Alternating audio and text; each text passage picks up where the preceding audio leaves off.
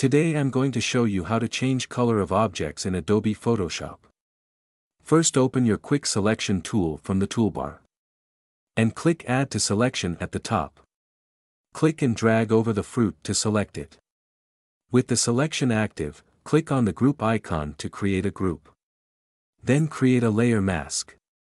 Double-click on this, and rename it, Color.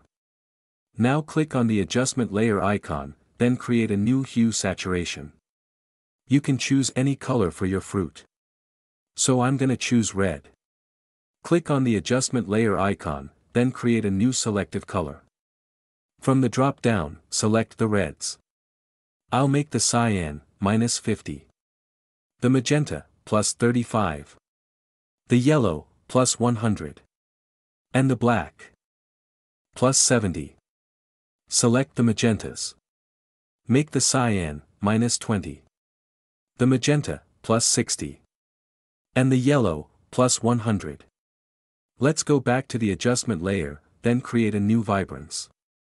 Increase the vibrance all the way to plus 55. And the saturation, plus 5. Then close Properties window. And that's it for today. Thanks for watching.